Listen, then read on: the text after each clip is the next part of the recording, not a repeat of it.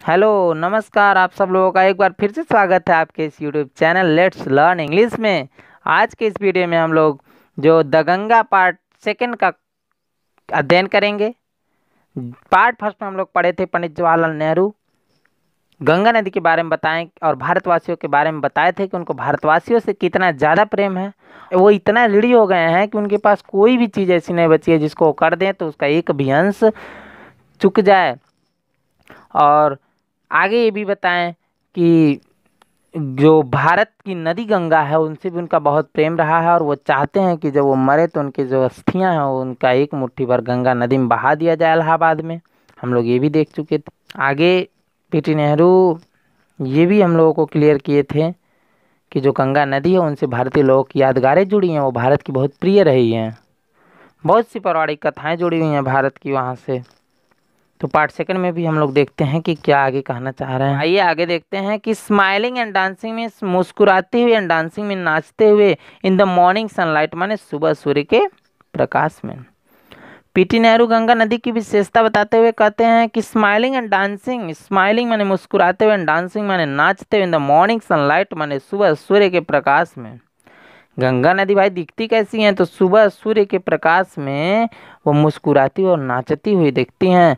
And dark and gloomy dark means अंधकार में और ग्लोमिंग माने रहस्य से भरी हुई। डार्क मीन्स अंधकार में और ग्लोमी मीन्स रहस्य से भरी हुई। एंड फुल ऑफ़ मिस्ट्री माने पूर्ण रूप से रहस्यमयी। As the evening shadows fall माने जैसे ही शाम की जो छाया ढलती है ना, उस समय गंगा नदी डार्क माने अंधकार में, ग्लोमी माने रहस्यमयी एंड फुल ऑफ़ मिस्ट्री माने पूरा रहस्य से भरी हुई दिखती हैं। कौन? गंगा नदी। ए नैरो माने एक पतली स्लो माने धीमी बहने वाली एंड ग्रेसफुल माने आकर्षक स्ट्रीम माने धारा के रूप में दिखती है। विंटर माने सर्दी के मौसम में, जाड़े के मौसम में, शीत के मौसम में। गंगा नदी की अलग अलग विशेषताएँ बताए हैं और ये इतना ज़्यादा इम्पोर्टेंट है आपके लिए क्योंकि बोर्ड के एग्ज़ाम में सबसे पहले यही पूछता है कि गंगा नदी किस मौसम में कैसी दिखती हैं। तो it is your responsibility to read it carefully कि जैसे ही shadows fall evening shadow fall means शाम की जो छाया डालती है तो गंगा नदी डार्क माने अंधकार में ग्लोमी माने रहस्यमयी में फुल ऑफ़ माने पूर्ण रहस्य से भरी हुई दिखती हैं। और ठंडी के मौसम में एनैरो माने एक पतली स्लो माने धीमी बहने वाली ग्रेसफुल माने आकर्षक स्ट्री माने धारक रूम में कब दिखती हैं? तो शीत के मौसम में। और कह रहे हैं कि एंड वास्ट माने विशाल का रोरिंग थिंग माने गरजती हुई चीज़ के समान ड्यूरिंग द मानसून माने बरसात के मौसम में। ब्रॉड बॉसोम्ड माने चौड़े सीने वाली ऑलमोस्ट एज द सी माने लगभग समुद्र के समान। And with something of the sea's power to destroy और समथिंग माने कुछ कुछ सीज पावर माने समुद्र समुद्र जैसी शक्ति के समान टू डिस्ट्रॉय माने नष्ट करने वाली। अब हम लोग कह सकते हैं कि बरसात के मौसम में यह एक विशालकाय गरजती हुई चीज़ के समान। लगभग समुद्र जैसी चौड़े सीने वाली और उसी के जैसी विनाशक शक्ति रखने वाली दिखती हैं। कौन? गंगा नदी। द गंगा माने Ganga has been to me मेरे लिए हो चुकी हैं या बन चुकी हैं अ सिंबल माने एक प्रतीक and the memory of the past of India माने भारत के बीते हुए समयों की एक याद बन चुकी हैं गंगा नदी।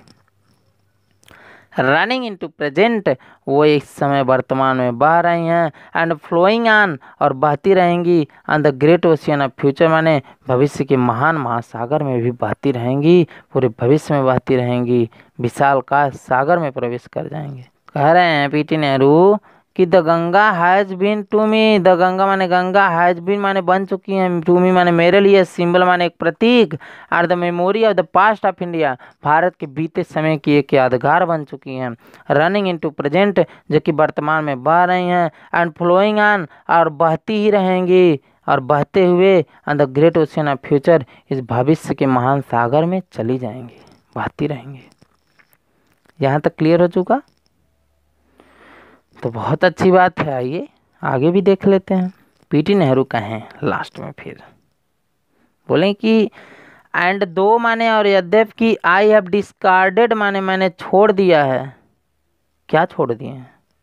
मच माने अधिकतर, आप पास्ट ट्रेडिशन माने पुरानी परंपराओं एंड कस्टम माने रीति रिवाजों को पीटी नेहरू एक बात और क्लियर की है, कहें, और यद्यपि कि मैंने काफ़ी, बहुत ज़्यादा मात्रा में डिस्कार्डेड मैंने छोड़ दिया है। क्या छोड़ दिया है? तो प्राचीन परंपराओं को और कष्ट माने रीति रिवाजों को एम एक्सियस और मैं उत्सुक हूँ। दैट मीन्स कि India should rid herself Bharat खुद छोड़ दे। या फाल साइकल्स माने उन सभी बेड़ियों को दैट बाइंड माने जो बांधती हैं अनकॉन्स्टेंट माने नियंत्रित करती हैं। हर मनुष्य जो भारत को बांधती और नियंत्रित करती हैं, उन सब बेड़ियों को तोड़ दे भारत।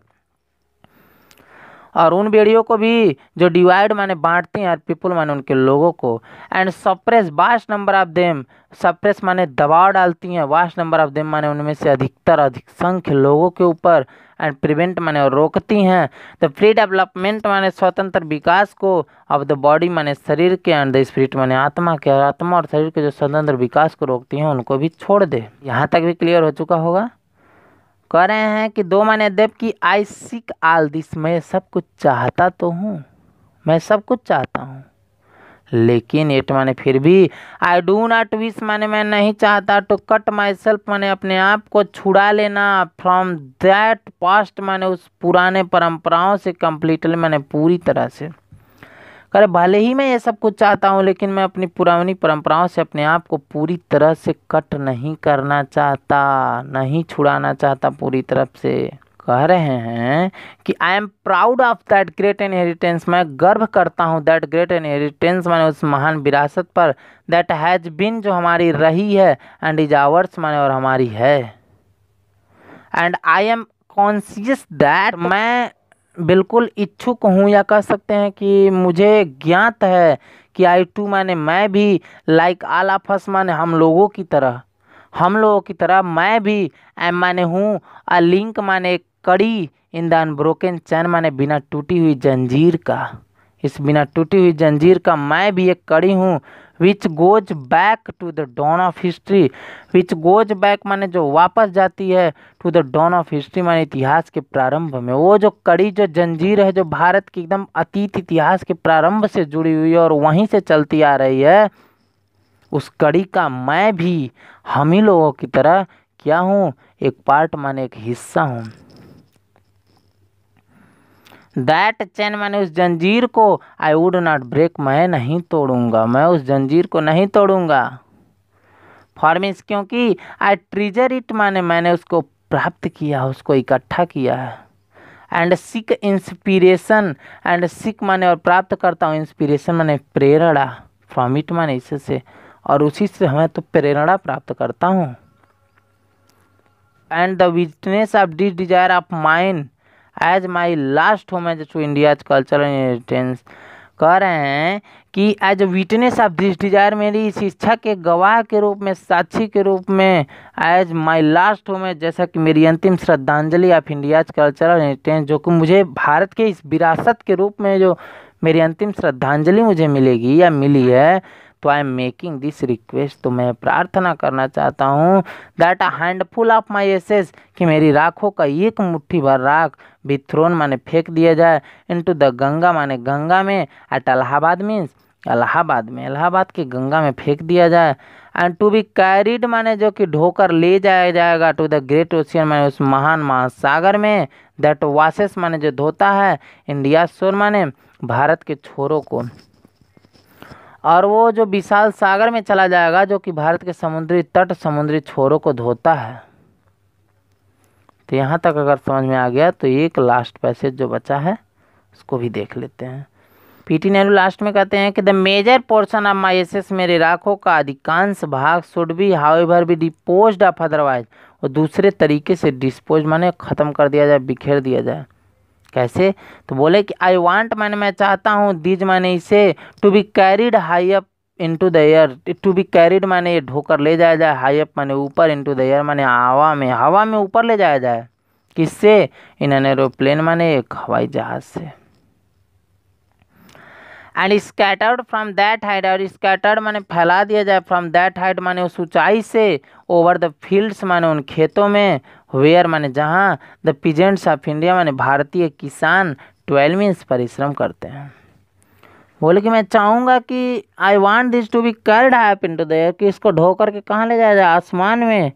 एंड एरोप्लेन माने एक एक हवाई जहाज़ में and scattered from that height और उस ऊंचाई से बिल्कुल फैला दिया जाए ओवर द फील्ड्स माने उन खेतों में वेयर में जहाँ the peasants of India toil भारतीय किसान, भारत के किसान ट्वेल्व में इस परिश्रम करते हैं।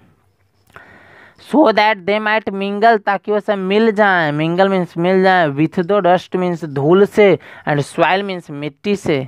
आप इंडिया मीन्स भारत की। ताकि वो भारत की मिट्टी और धूल में मिल जाए एंड बिकम माने और बन जाए। And indistinguishable part of India indistinguishable part माने एक अभिन्न अंग। ऑफ़ इंडिया माने भारत की। अर्थात ताकि वो भारत का एक अभिन्न अंग बन जाए। I have written this will and testament I have written माने, मैंने लिखा है। क्या लिखा है? तो दिस विल माने वसीयत एंड टेस्टामेंट माने शपथ पत्र, इच्छा पत्र। इन न्यू दिल्ली माने नई दिल्ली में। आज twenty first day of June इक्कीस June in the year nineteen hundred fifty four इक्कीस June twenty one June nineteen fifty four मैंने उन्नीस सौ चौवन को मैंने यह वसीयत और अपना इच्छा पत्र लिखा है। तो यहाँ पर ये चैप्टर पूरी तरह समाप्त होता है। आशा मैं करता हूँ कि आप लोग दोनों पार्ट देख चुके होंगे। आपको ये पार्ट समझ में भी आया होगा। और पार्ट फ़र्स्ट अगर नहीं देखे हैं तो इसके डिस्क्रिप्शन में उसकी लिंक है। आप लोग जाकर पहले पार्ट फ़र्स्ट देखें, उसके बाद पार्ट सेकेंड देखें। और जो भी कन्फ्यूजन्स हो, उसको आप कमेंट बॉक्स में ज़रूर बताएँ। इस वीडियो को अंत तक देखने के लिए और हमेशा की तरह इस चैनल को सब्सक्राइब करने के लिए, हमारा उत्साह बढ़ाने के लिए बहुत बहुत धन्यवाद। ढेर सारा नमस्कार। Thank you so much.